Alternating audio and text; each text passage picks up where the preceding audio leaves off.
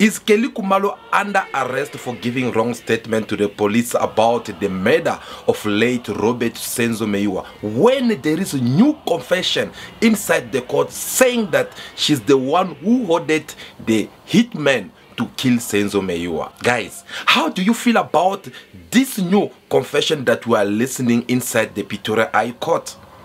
Imagine after 10 good years, you finding out that it is her who actually ordered the hitman to eliminate Robert Senzo Meyiwa. Hello everyone, welcome to Coolbuzz TV, welcome back to another video. In this video today, I want us to focus a little bit about what has been happening in the late Robert Senzo Meyiwa murder case in Pretoria, which has been taking place for some times now. And each and every times we switch on our TV, we are seeing some new revelations which are coming up inside the Pretoria Magistrate High Court. And this time, the name of South African celebrity Kelly Khumalo, she's being again mentioned inside this Pretoria Magistrate Court. Among the witnesses who have stand so far inside the Pretoria Magistrate High Court, this time we are talking about Brigadier Bongani who had to read out a statement which came from one of the accused and in this statement the accused made a confession saying that he was ordered by Kelly Khumalo. Through this same statement it reveals also on how the phone numbers which Kelly Khumalo was using back then, the message and the WhatsApp message which was found through these uh, cell phone numbers,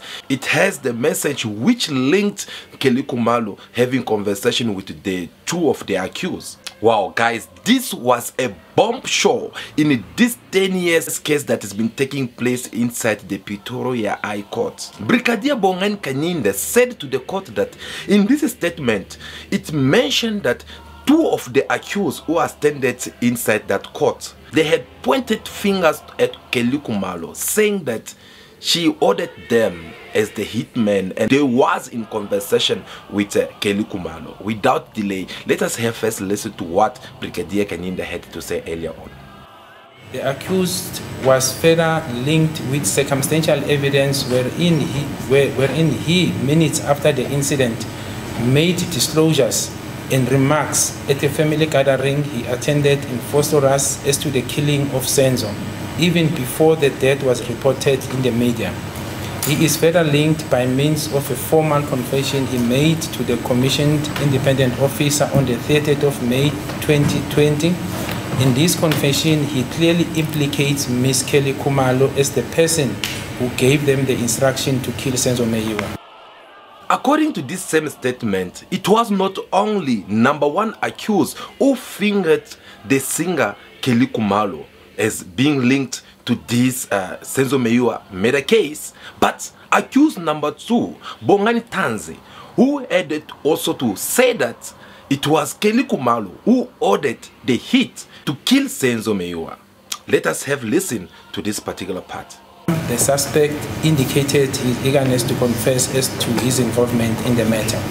The suspect made a commission to a commissioned officer on the 19th of June 2020 and later made a further confession in the presence of his attorney uh, to a magistrate in Boksburg Magistrate Court on the 24th of June 2020 through the confession does it appear that this suspect is the suspect that was described as tall, slender built, which came into the house. He also implicates Ms. Kelly Khumalo as the person who gave the order to kill Senzo Meyiwa. Brigadier Bongani Gininda said that in this statement, there is also a report which proves and shows how the cell phone numbers which Kelly Khumalo had back then it was linked to the one of accused number three and number four they were having a conversations and i believe you guys remember when this trial started the advocate teffo malesela have also mentioned about this cell phone linked which shows the conversation that kelly khumalo was having between him with, with accused number three and number four, which shows that there were even some pictures. And still again in this same statement, Brigadier uh, Bongani had to explain to the court that uh, they find out the conversation between Kelly Khumalo with a sister Zandile Khumalo, which shows the conversation which Kelly Khumalo was having with a young sister Zandile Khumalo, and she was busy telling her how much she hates Senzo Meyiwa because of some reasons that she did not really reveal in that conversation, but she kind of like telling her sister that she's looking forward to see on how she can get rid of him. Get rid of him in which way? Physically or just breaking up with uh, their relationship? That is something i believe only kelly khumalo will have to come and tell the court as soon as possible. But i want you first to have a listen to what brigadier gininda have to say about this. Four cell phone numbers that she did not disclose to the police when this incident took place these numbers were discovered by the XDS system used by the cell phone analyst and subsequently linked to her activities.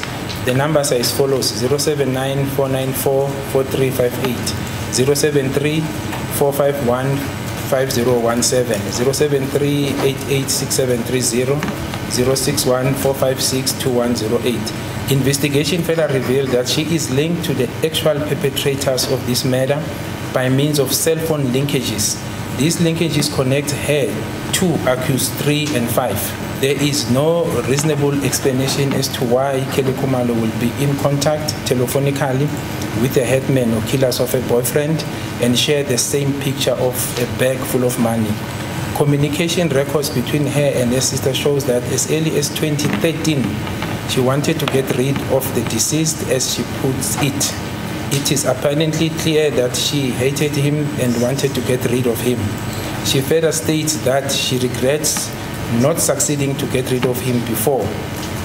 Taking into account all these facts, an inference can be drawn that she meant killing him. Again, here, in this statement that Brigadier Gininda was explaining or reading to the court, you understand very well that they end up discovering four numbers four different numbers which was used before that incident took place, before Senzo Meyiwa was killed. And these cell phone numbers, as they try to verify or follow which uh, who was the owner, under which names it was figured, they end up finding out that it was uh, uh, the phones, uh, cell phone numbers which belongs to Kelly Khumalo and she did not disclose this to the police. She did not tell the police about this. These are the things that the police end up discovering on their own. But was that all? No, because through these cell phone numbers, they end up now discovering on how it, she was linked in a conversation with different people. And they have to go through the WhatsApp message and they end up discovering something very crucial, something very important that just changed everything in this Senzo Meyiwa uh, murder case. And that is the picture of money. The picture of money that they found in uh, one of the conversations which uh, was having the number of uh, Kelly Khumalo, they find it that, uh, that same picture in the uh, conversations or in the chat of one of the accused. And here we're talking about accused number three. The same picture of money that Kelly Khumalo had. They find it also in the cell phone number of uh, accused number three let us have listen to that part. The cell phone downloads of this cell phone were done.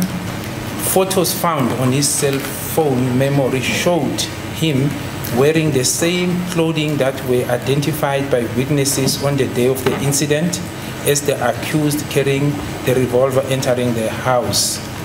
Photos downloaded taken of the accused photos downloaded taken of the accused by him selfies during the day of the of the 26 October 2014 matched the description of the suspect who had the firearm with red locks, big eyes, and with gold teeth.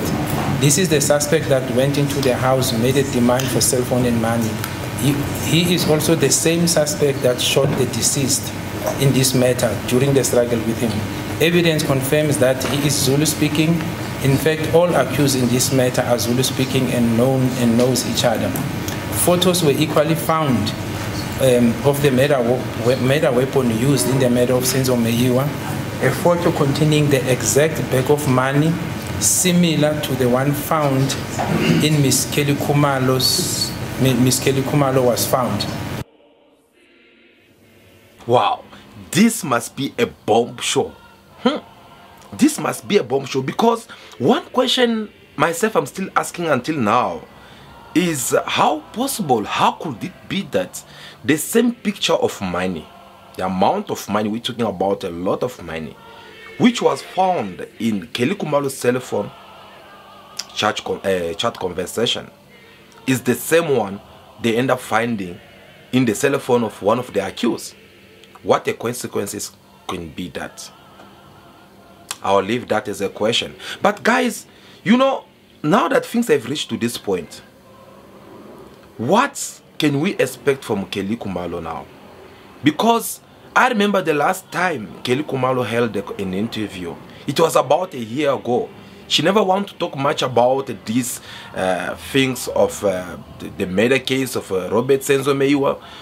And when she was given a chance for her to speak out, well, Kelly Khumalo, she spoke. When Kelly Khumalo decided to speak out, the only thing she had to tell everyone out was about a life. She believed that a life is in danger. And she's been saying that she wanted a day inside the Pretoria Magistrate High Court so that she can get to tell a side of story. And she did spoke about quite a lot of things, but here are the key points. We have a problem in our country. And this is not just about Kelly Khumalo as the musician, but this is about an individual in the pits and darkest place of wherever it is, where they lose loved ones and justice is not served. And I once, um, you know, said something about this in, in my Instagram page.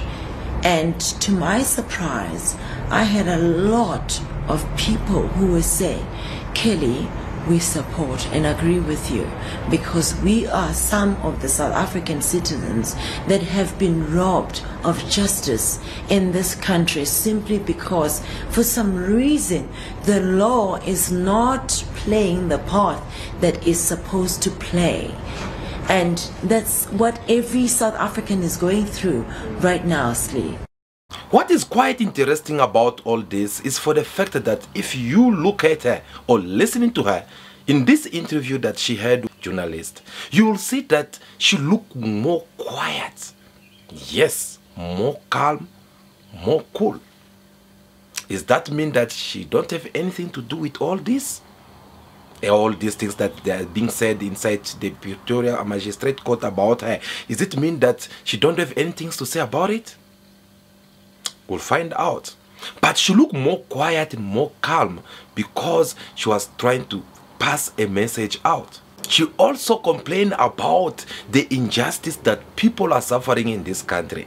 She accused the justice system to be delayed because the fact that they keep on delaying as she's suffering, she said that a family, they are all traumatized by all this scenario. And that is too much because she wants this case to be done once for all. Looking at it do you think this case will finish good in a favor? Or is it a case that will, can come and destroy a career? We'll find out. Kelly khumalo said that a life is now threatened. She's been receiving a lot of threats since day one when senzo meyiwa was killed. She's been receiving a lot of threat a sister said the same thing. She said that the whole family, they are suffering from all this. They are receiving some anonymous message from different people threatening them, saying that no, they will eliminate them. Well, till now, that have not happened, isn't it? She's still walking freely. She's still performing in the concert and come again to think of it. I think if she, if people wanted to eliminate her, they'll have done so a long time ago. Don't you think so? Let's just leave that for now. But in this same case, we have people, almost everyone, whether you are def uh, the defense lawyer, whether you are the, the, the, state lawyers, everyone who are represented in this court, they are all saying that their life is in danger. Even the accused, they are saying that our life is in, in risk someone want to eliminate us someone want to kill us everyone they're afraid so now my question is, who's threatening who because if Kumar she said that a life is in danger, the accused said that their life is in danger. The the, the, the, the witness who are appearing inside the court are saying that their life is in danger. The lawyers who are representing this defense uh, def, uh, accused, they are saying their life is in danger, including the state advocate is also saying that his life is in danger. Who's telling the truth and who's lying? Let us first have listen to what Kelly Khumalo have to say about a safety. What has happened to me, I've had my life threatened. I have my family threatened, not once but multiple times. And I feel like the law is not coming into place to protect and make me feel that, you know what, it is within my right to have protection, not only for myself, but also for my family. Again, as I said earlier on, Kelly Khumalo never want to disclose or talk much about what had really happened in that house since the moment when Senzo Meyiwa was killed. She never want to discuss much about it. But through this interview that she gave about a year ago to one of the local TV channel, well, that was a good opportunity for her at least to open up and speak out and tell people because sometimes people they might judge you wrong all because they never heard your side of story. So they rather prefer to hear from you before they start seeing you as that wicked person before they start considering if like you have something to hide about all this. And through that interview everyone was expecting kelly khumalo for an example to come forward and tell people who've been threatening her who want to kill her who want to eliminate a family and for what reason that they would love to do so. But unfortunately she did not want to disclose all those information. Instead she told the journalist to follow or watch a, a, show that she was busy uh, uh, launching on that special day and as you all know that she's been having a local show or shall i say a series a tv series that she usually launch and do about i mean say things about her life now my question is why would you prefer to only want people to know your side of story through your uh, TV show and not on the uh, local channel that have come to interview you. Don't you think that that was another strategy of uh, calling or having more clients? You know when you are marketing a product that you have worked for and you want to make money out of it then you promoting it and you inviting people. Like no look i can't discuss this about i mean i can't discuss this with you here. I prefer you to come to my place I prefer you to come to my office. So you kind of like promoting. And here, these are the uh, kind of things that can also make some people out there not to trust or believe in what she have to say. Because you can tell already that a intention was for her to make money. Do you understand? It is. It was for her to make money through a, a, a TV show that she's been promoting, and she wants people to go and buy or watch it even more. But how would you like to make money on something that you know it has left many heart broken? Many people are still crying up today about the med. I mean the the the maid of uh, Senzo Meyiwa, his family the poor guy, he lost his father. Obviously, it's through the stress of losing a son. The mother, we can't even imagine what she's going through, especially seeing whatever is happening inside that magistrate court. What about Senzo Meyiwa fans? Because we all know that Senzo Meyiwa was a football uh, player. He played for Bafana Bafana, he played for Orlando Pirates, and he have a lot of fun around the world. What about all these people who deserve at least to know of what have really happened in that house? And some people, they are now taking this case as an opportunity for them to make money. You guys still remember what happened the the the Netflix series about Senzo Meyiwa how we saw his close friends they have to go and sell pictures over there they have to go and give their interview.